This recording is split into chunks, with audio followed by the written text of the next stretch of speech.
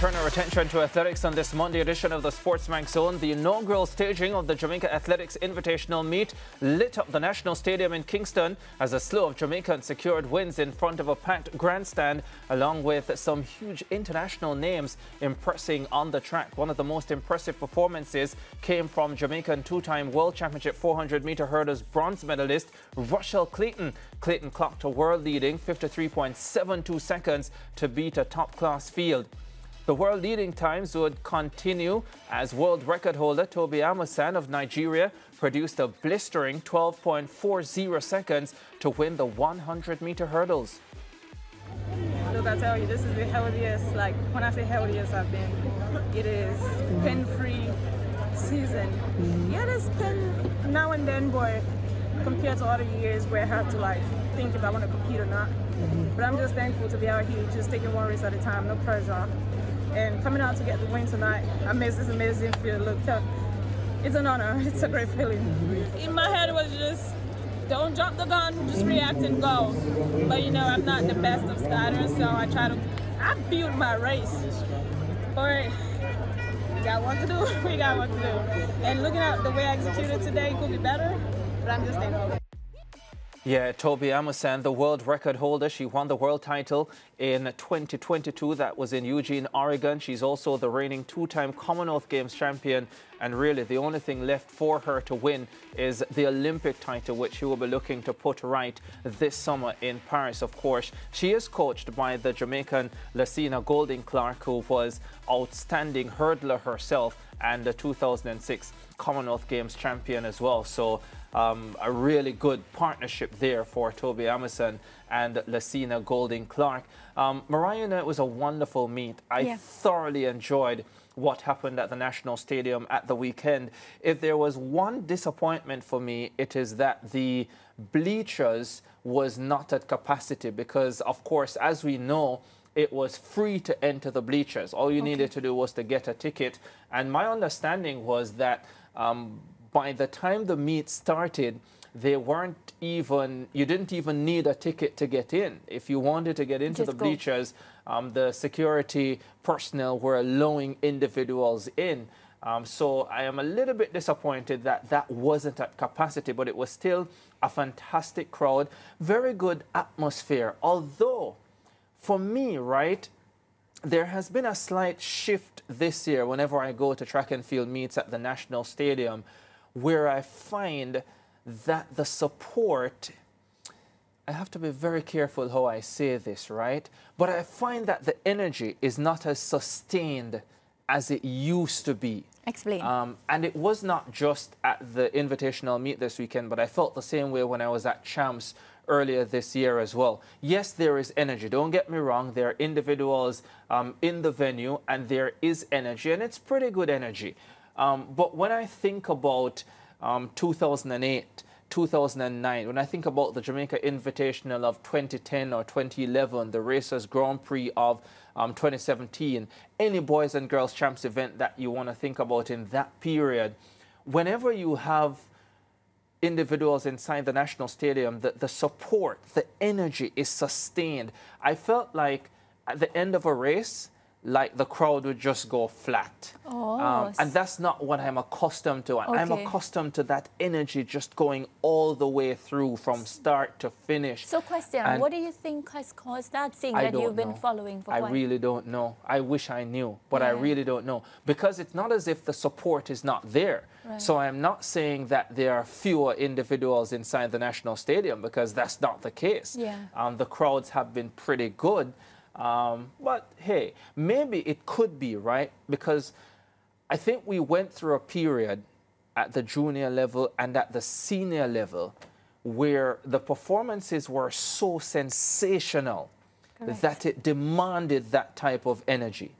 And when you have seen performances like that, unless these performances are better, which is difficult to top those which is difficult to top those performances, then you don't necessarily have the same feel, right? Because if you saw Usain Bolt yesterday and then you saw me today, clearly you're not going to be excited about that. Of it's course. like, okay, I saw you saying, "Boy, who are you?" Bye. Yeah. Yeah. So maybe that has something to do with it, where people are not as easily impressed, even by high quality performances, but because they are not at the level that they Are are, accustomed are to. accustomed to, then yeah. There was one energy that I didn't expect to see, Yeah. But I was happy. I think she brought um, a lot of good energy. She appeared really, really happy. Mm-hmm. And I was wondering, I was like, you know, she's here to study the performances because she means business this year, Ricardo. Yeah, she does. I was wondering as well, why is Sha'Carri Richardson um, in Jamaica for this meet? So to look on and- and why is she in the bleachers and not the grandstand? And you know, Mariah, I'm wondering if Sha'Carri came here to run and then something happened and prevented her from competing on Saturday. I don't know, but Yeah. I found it a little strange that she would just be here just to watch the meet. I, I don't know. I feel like there is some other business that she came on, but No. I'm not 100% sure. But you're right. She brought a real nice energy to it. Um, and it was a, I, I thought it was, I, again, very Sha'Carri like. Um, ending up in the bleachers as opposed to in the grandstand where a lot of individuals would expect for her to be. And it was clear that she received a lot of genuine love over there. Yeah, a lot of people were taking pictures with Yes. her. The thing is, she's just a, a person, an individual that, of course, draws a lot of attention to her. Mm-hmm. Like, you can't keep Sha'Carri's name out of any headline, any discussion, any talk show, Yeah. for example, right now. Yeah. So she shows up, she does things in a different style, Yeah. and she becomes a topic. And you know what, Mariah? There's also the possibility that she went to the bleachers because she wanted to lay low. There's that possibility, but it's impossible No, man. for Sha'Carri. Richardson to lay low, um, especially in the land of wood and water. And in um, track and field, and no in ways. track and field. So the moment she was spotted and the picture started going out on social media with um, different individuals taking those pictures with her, um, then yeah, it had to become a pretty big thing inside the National Stadium. But it was a nice touch and it added um, to the spectacle of the meet as well. I, I thought it was really nice. Yeah, another performance I really loved is Jaydon Hibbert. I don't know if I could call him little Jaydon Hibbert anymore because he continues to, of course, impress. He's an athlete. Again, um, Ricardo, when he comes out, it's a spectacle because he's a performer. He is one that I think loves the camera. The camera loves him as well. So just to see him breaking records, doing his thing, it's something that really warms my heart. Yeah, the first thing, right. So on his very first attempt, um, Jaydon Hibbert is asking the crowd to, to clap. You see? Um, the crowd starts clapping, but they're not doing it right. And Jaydon goes, no, no, no, hold up. this is how we do it. Let's get the rhythm right. Um, and I thought, and, and the crowd was right there with him. Yes. And I thought to myself, yeah, this kid is a real star. There's no doubt about it. And it was a terrific performance 17.57 meters. That's the best outdoor performance in the world this year.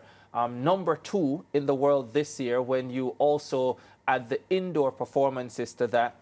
Um, so a terrific performance from him, no doubt about it. And my hope is that he'll stay injury free and will push on to the Olympic Games and get that Olympic medal. I hope it will be gold, but there's no guarantee because there are a lot of quality jumpers out there returning this year and they're expected to do really well. Um, but definitely, he has made a terrific start to his campaign, um, winning in Bermuda and again winning here in Kingston. We didn't talk about the Jamaican, Marie-Josée Ta Lou.